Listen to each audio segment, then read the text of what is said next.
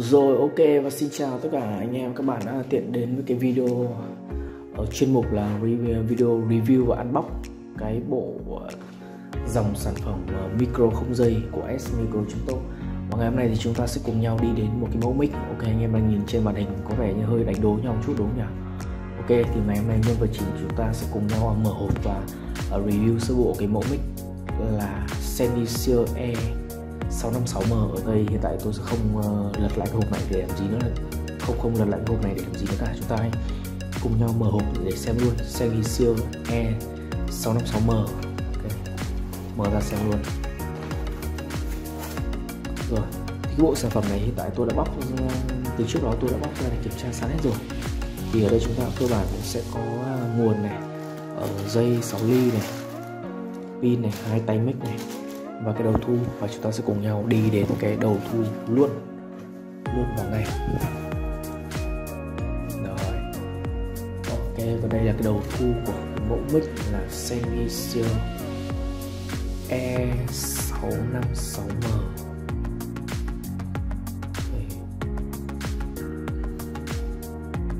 đó. Sennheiser model E656M rồi okay. thì đây là toàn bộ mặt trước của đầu thu của mẫu mic này bộ mặt trước được làm bằng cái um, thanh đôn phay liền từ đầu đến cuối luôn.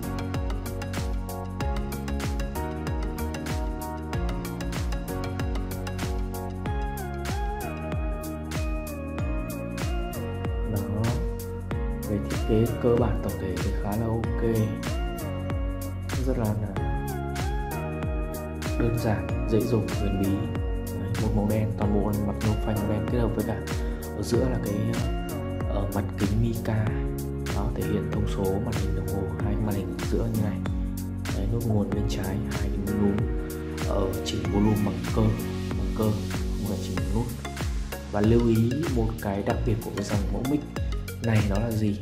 Như các bạn đang nhìn thấy trên màn hình thì đó là con mic Sennheiser E660 thì nó không có phím nút để chỉnh tần số. Không có phím nút để chỉnh tần số thì tại sao lại như vậy?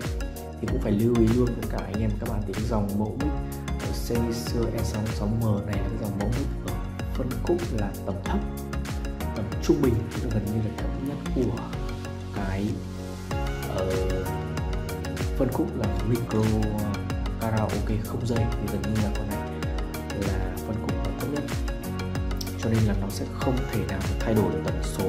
Thì đây là cái điều mà các bạn cần phải lưu ý thì cái việc mà không thay đổi được tần số của micro thì nó sẽ uh, có ảnh hưởng như nào đến uh, trong quá trình chúng ta sử dụng thì cũng phải uh, chia sẻ luôn. Đó là uh, nếu như mà ở cái khu vực cái tọa độ của các bạn mà sử dụng hoặc là trong nhà của bạn mà có một vài thiết bị hay là có một cái tần số nào đấy mà nó không may mà nó bị trùng với tần số của cái mẫu mic này thì nó sẽ bị ảnh hưởng đến cái chất lượng sóng. Khi các bạn ca hát các bạn sử dụng nó sẽ bị ảnh hưởng.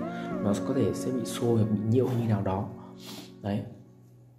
Ok và chúng ta sẽ cùng nhau đi cái mặt sau của cái đầu thu con à, xanh như xưa này. Thì các bạn đã nhìn thấy là toàn bộ ở đây là nó đang được uh, gắn bốn cái dâu anten ở trên này. Và bốn cái dâu này cũng đã được gắn sẵn vào đầu thu luôn. Chúng ta không thể tháo rời được cái dâu này bốn dâu gắn sẵn vào đầu thu không thể tháo rời bốn anten luôn. Đó và cơ bản thì cũng sẽ có ờ, hai chân Canon này đó, và một chân 6 ly này nguồn này đó.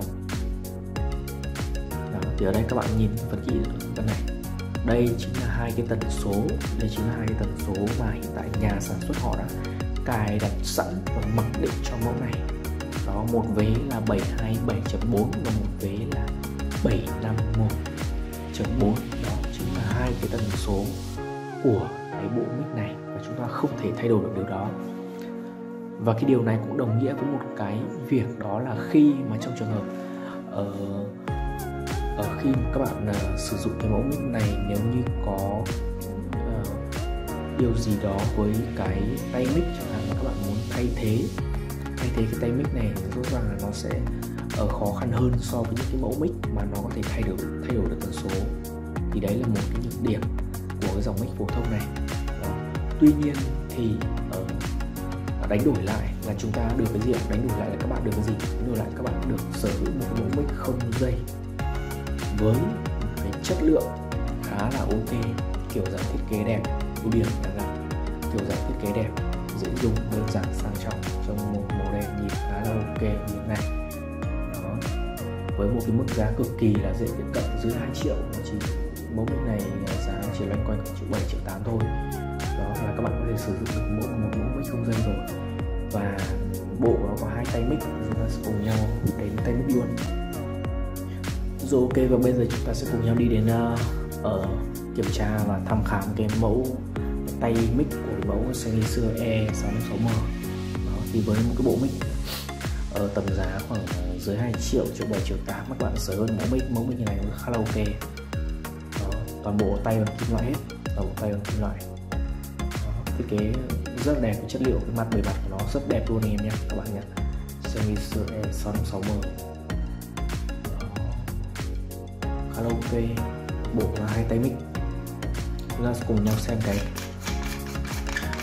côn mic rồi ok con này nó sử dụng côn mic giống với cả mẫu UG Sua UG 8 và 9 đời đầu. Rồi riêng cái côn này thì các bạn có thể yên tâm được rằng là là cái, cái chất lượng âm thanh của côn mic này khá là tốt gần như là có thể nói là tốt nhất trong số các cái cái, cái côn mic của mic mà có giá tương đương. Có giá tương đương thì gần như là côn này là là, là trong phân khúc được tầm giá là của nó là gần như là tốt nhất luôn tiếng của nó rất trong tiếng. Thì ok. Đó. À đây. Mở phần chui ra cho anh em các bạn nhìn nữa. Đây là tần số này. Như lại tôi đã bảo này. Tần số này tần số được phích cứng. Và tần số phích cứng này thì nếu trong trường hợp nếu như uh, nhà các bạn mà có cái thiết bị hay có một tần số nào đấy nó bị trùng với tần số này chẳng hạn mà thì nó có thể gây nhiễu sóng. Nó có thể gây nhiễu sóng cho bộ micro này. Mà thực ra thì cái trường hợp đấy thì cũng khá là là hạn hữu trường hợp đấy khá là ít khi xảy ra. Đó. Còn bình thường thì nếu như mà không có tần số nào trùng thì nó hoàn toàn hoạt động bình thường. Không tần số nào trùng thì nó hoàn toàn là hoạt động bình thường. Rất là ok luôn bốn dâu. Đó. Thì uh, ok hôm nay ngày hôm nay chúng ta sẽ cùng nhau đi uh, sơ bộ về cái tổng thể thiết kế cái à, uh, quy cách của cái bộ mic này thôi. Còn và chúng ta sẽ còn gặp nhau trong một cái video tiếp theo mà tất cả uh, các cái mẫu mic đều cần phải trải qua và chúng tôi cần phải kiểm tra test thử nghiệm uh, kiểm tra trực tiếp. Đó là cái video test cái chất âm của nó. Chất âm của nó thì cái một chất âm của mẫu mic Sennheiser này khi mà nó dùng cái côn mic của U89 này thì nó hứa hẹn sẽ cho ra một cái chất âm. Ở đây chúng ta sẽ cùng nhau nhận định phán đoán thôi còn tất cả mọi thứ sẽ phải nghe và âm thanh thực tế nhưng tôi phán đoán là sử dụng cái sử dụng cuốn mic này cho ra chất này khá là tốt, khá là trong tiếng đó. rồi, ok, và chắc là video cũng sẽ kéo dài đến đây thôi. Thì ờ, anh em các bạn muốn xem thêm thông tin hoặc biết thêm thông tin chi tiết về cái mẫu mic của Sennheiser E656M này thì thì các bạn hãy truy cập trực tiếp vào link website phần phía bên dưới của cái video này, phần mở rộng của video này. Ok, và anh em sẽ, vào đó thì sẽ đầy đủ hết full hết thông tin. Toàn bộ thông tin chúng tôi sẽ đẩy đẩy hết trường website trên đó. Và Ờ, toàn bộ tất cả các cái hình ảnh tông số đều là hình ảnh gốc sở hữu của S Micro tốt và không sao chép và không sử dụng bất cứ của một cái đơn vị nào khác. Đó thì anh em phải uh, lưu ý điều đó. Toàn bộ hình ảnh là hình ảnh thật hết 100% luôn tất cả đều được chụp tại shop.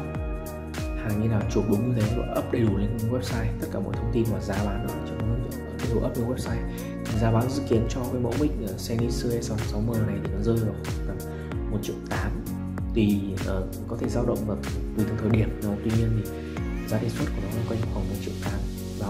Thì chúng ta anh em các bạn chúng ta hãy cùng nhau chờ xem cái video test tiếng của cái mẫu mic Sennheiser E660M này nó như thế nào. Chúng ta sẽ thì các bạn hãy cùng ờ, đón xem cùng chúng tôi ở các cái video tiếp theo. Còn ok video này chúng ta sẽ tạm dừng ở đây và xin chào và hẹn gặp lại các bạn video tiếp theo của Smigro.top